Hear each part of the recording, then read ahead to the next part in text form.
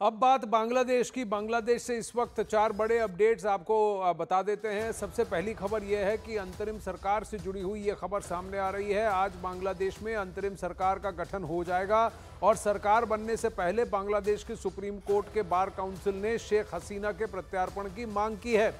बांग्लादेश की सत्ता से शेख हसीना के हटने के बाद अब छात्रों के गुट ने वहाँ के सुप्रीम कोर्ट को टारगेट पर ले लिया है।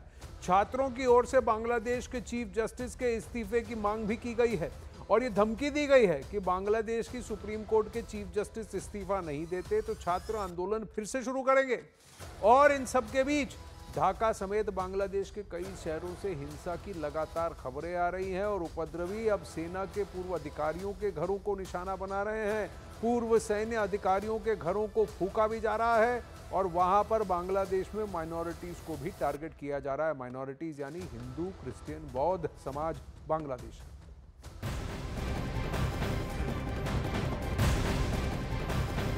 अब वहीं बांग्लादेश से एक और बड़ी खबर आ रही है। बांग्लादेश और भारत की सीमा से ये खबर, ये अपडेट आ रही है, जहाँ बड़ी संख्या में बांग्लादेश से भागकर भारत की सीमा पर अल्पसंख्यक पहुँचे हैं। अल्पसंख्यक यानी कि हिंदू, अधिकांश हिंदू हैं और फिर उसमें कुछ बौद्ध और क्रिश्चियन भी हैं।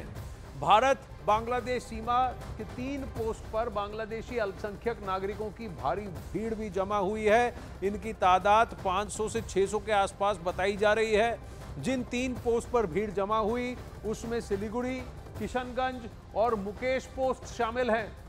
बीएसएफ लोगों को अंदर घुसने से रोके हुए हैं। बीएसएफ और बॉर्डर गार्ड बांग्लादेश के कमांडर लेवल के अधिकारी इस व्यवस्था को बनाए रखने में आपस में संवाद भी कर रहे हैं और कहीं ना कहीं जितने ये भागकर वहाँ आए हैं और बैठे हुए हैं, उनको वापस जाने की भी सलाह दी जा रही है। सिर्फ़ जिनके पास वैध कानूनी दस्तावेज़ हैं, उन्हें इंटीग्रेटेड चेकपोस्ट के ज़रिए भारतीय सीमा में दाखिल होने की अनुमति दी जा रही है। जहाँ से नियमित व्यापार भी अब शुरू हो चुका है। कई दिनों से वहाँ दो तीन सौ ट्रक लाइन पे खड़े हुए थे, लेकिन उनकी आवाजाही अब शुरू हो गई है। वहीं जलपाईगुड़ी ज़िले के दक्षिण बेरूबारी इलाके में कांटेदार बाढ़ नहीं होने की वजह से वहाँ खेतों में बांग्लादेशी परिवार आकार खड़े, आकर खड़े हो चुके हैं। और यही नहीं, ज़ीरो पॉइंट पर इनको रोका गया है।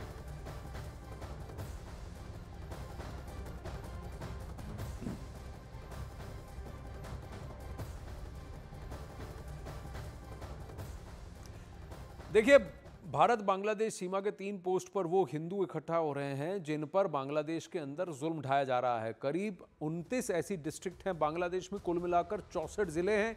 चौंसठ जिलों में से करीब 29 जिलों में भारी आ, मात्रा में हिंसा हो रही है और वो भी हिंदुओं को टारगेट किया जा रहा है। हिंदू बांग्लादेशी हिंदू हैं बांग्लादेश में हिंदू माइनॉरिटी हैं। साथ ही क्रिश्चियन और बौद्ध भी बांग्लादेश में माइनॉरिटी हैं। इनको टारगेट किया जा रहा है इनकी संख्या सैकड़ों में है। 24 घंटे पहले ये आंकड़ा 500 बताया गया। अब इनमें से कई गाँवों के लोग भी हैं। भारत बांग्लादेश बॉर्डर पर इन्हें सिलीगुड़ी, किशनगंज और मुकेश पोस्ट के पास रोक कर रखा गया है।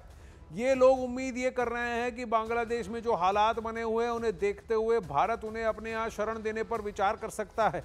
लेकिन फ़िलहाल बीएसएफ को ये हिदायत दी गई है कि किसी को भी यहाँ बिना वैध दस्तावेज़ के भारत के अंदर नहीं आने दिया जाए। मैं आपको याद दिला दूँ 1990 के दशक में अनुमान ये है कि करीब एक करोड़ बांग्लादेशी बांग्लादेश से पलायन कर कर भारत में घुसपैठ कर गए, भारत में घुस गए।